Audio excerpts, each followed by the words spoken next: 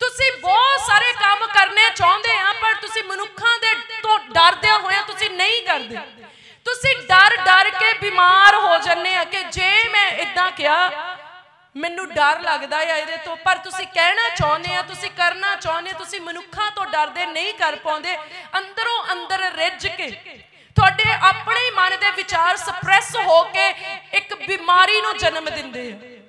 ਔਰ ਉਹ ਬਿਮਾਰੀ ਹਮੇਸ਼ਾ ਜਿਹੜੀ ਡਰ ਤੋਂ ਪੈਦਾ ਹੁੰਦੀ ਆ, ਉਹ ਮੌਤ ਦਾ ਕਾਰਨ ਬਣਦੀ ਆ, ਕਿਉਂਕਿ ਡਰ ਨਾਸ਼ ਦੇ ਦਰਵਾਜ਼ੇ ਨੂੰ ਖੋਲਦਾ ਆ। ਅਯੂਬ ਕੀ ਕਹਿੰਦਾ ਸੀਗਾ? ਕਹਿੰਦਾ, ਜੇ ਇਸ ਗੱਲ ਤੋਂ ਮੈਂ ਡਰਦਾ ਆ, ਉਹੀ ਮੇਰੇ ਨਾਲ ਵਾਪਰ ਜਾਂਦੀ ਆ। ਜਦ ਤੋਂ ਮੈਂ ਡਰਦਾ, ਉਹੀ ਮੇਰੇ ਉੱਤੇ ਬੀਤਦਾ ਆ। ਉਹਦੇ ਜੀਵਨ ਦੇ ਵਿੱਚ ਡਰ ਦਾ ਡੋਰ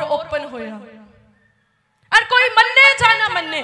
ਜਿੰਨਾ ਚੀਜ਼ਾਂ ਦਾ ਡਰ ਸੀ, ਉਹੀ ਉਹਦੇ ਜੀਵਨ ਦੇ ਵਿੱਚ ਹੋਇਆ। ਰਾਤ ਨੂੰ ਜਸ਼ਨ ਮਨਾਉਂਦਾ ਆ, ਸਵੇਰ ਨੂੰ ਡਰਦਾ ਆ। ਡਰਦਾ ਆ ਕਿ ਕਿਤੇ ਮੇਰੇ ਬੱਚਿਆਂ ਦੇ ਮੂੰਹ ਚੋਂ ਕੁਝ ਗਲਤ ਨਾ ਨਿਕਲ ਗਿਆ ਹੋਵੇ, ਇਹਨਾਂ ਦਾ ਕਿਤੇ ਨੁਕਸਾਨ ਨਾ ਹੋ ਜਾਵੇ। ਬਲੀਆਂ ਚੜਾ ਰਿਹਾ, ਬਲੀਦਾਨ ਦੇ ਰਿਹਾ। ਹਾਲਾਂਕਿ ਅਯੂਬ ਵਰਗਾ ਧਰਮੀ ਵਿਅਕਤੀ ਨਾ ਹੋਇਆ ਨਾ ਹੋਣਾ। ਬਹੁਤ ਧਰਮੀ ਪਰਮੇਸ਼ਵਰ ਦੇ ਮਨ ਭਾਉਂਦਾ ਧਰਮੀ ਵਿਅਕਤੀ ਆ। ਪਰ ਅਸੀਂ ਉਸ ਉਦਾਂ ਦੀਆਂ ਰੀਤਾਂ ਨੂੰ ਅਸੀਂ ਵੀ ਫਾਲੋ ਕਰਦੇ ਆ। ਅਸੀਂ ਚਰਚ ਵਿੱਚ ਆਉਂਦੇ ਆ, ਜਿੱਦਾਂ ਅਯੂਬ ਪਰਮੇਸ਼ਵਰ ਦੀ ਹਜ਼ੂਰੀ ਵਿੱਚ ਜਾਂਦਾ ਸੀ। ਅਸੀਂ ਵੀ ਪਰਮੇਸ਼ਵਰ ਦੀ ਹਜ਼ੂਰੀ ਵਿੱਚ ਜਾਂਦੇ ਆ। ਜਿੱਦਾਂ ਅਯੂਬ ਬਲੀਦਾਨ ਚੜਾਉਂਦਾ ਸੀ, ਅਸੀਂ ਵੀ ਨਿਆਣਿਆਂ ਦੇ ਨਾਂ ਦੀਆਂ ਸੁਖਣਾ ਸੁੱਖਦੇ ਆ। ਅਸੀਂ ਵੀ ਨਜ਼ਰਾਨੇ ਚੜਾਉਂਦੇ ਆ, ਭੇਟਾ ਚੜਾਉਂਦੇ ਆ। ਸਾਡੇ ਨਿਆਣੇ ਪਾਸ ਹੋ ਜਾਣ, ਕਿਤੇ ਫੇਲ ਨਾ ਹੋ ਜਾਣ।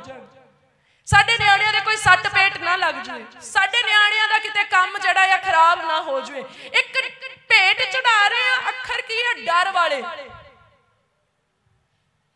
ਅਯੂਬ ਇਦਾਂ ਕਰਦਾ ਸੀ।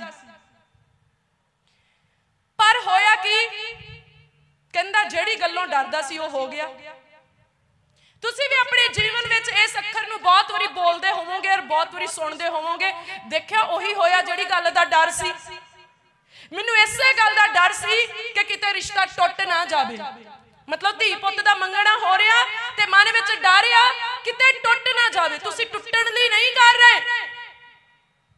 ਪਰ ਤੁਹਾਡਾ ਡਰ ਰਿਸ਼ਤੇ ਨੂੰ ਟੁੱਟਣ ਦਾ ਦਰਵਾਜ਼ਾ ਆ। ਤੁਸੀਂ ਕੋਈ ਕੰਮ ਬਣਾਉਨੇ ਆ, ਤੁਸੀਂ ਕਹਿੰਦੇ ਕਿਤੇ ਇਹ ਕੰਮ ਵਿਗੜ ਨਾ ਜਾਵੇ। ਕੀ ਤੁਸੀਂ ਵਿਗਾੜਨ ਦੇ ਲਈ ਕੰਮ ਨਹੀਂ, ਪਰ ਉਹ ਇੱਕ ਦਰਵਾਜ਼ਾ ਆ ਤੁਹਾਡਾ ਡਰ ਕਿ ਉਹ ਕੰਮ ਵਿਗੜ ਜਾਂਦਾ ਔਰ ਜਦ ਉਹ ਵਿਗੜ ਜਾਂਦਾ, ਜਦ ਉਹ ਰਿਸ਼ਤਾ ਟੁੱਟ ਜਾਂਦਾ, ਜਦ ਉਹ ਨੁਕਸਾਨ ਹੋ ਜਾਂਦਾ, ਤੁਸੀਂ ਕਹਿੰਦੇ, ਦੇਖਿਆ? ਮੈਨੂੰ ਪਹਿਲਾਂ ਹੀ ਇਸ ਚੀਜ਼ ਦਾ ਡਰ ਸੀ, ਇਸ ਲਈ ਇਹ ਹੋ ਗਿਆ।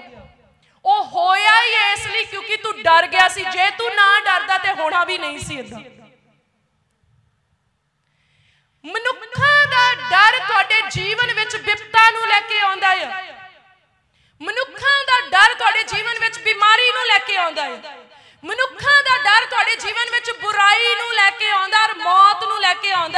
ਪਰ ਜਿਹੜਾ ਇਨਸਾਨ ਪਰਮੇਸ਼ਵਰ ਤੋਂ ਡਰਦਾ ਆ, ਉਹ ਲੰਮਾ ਜੀਵਨ ਭੋਗਦਾ।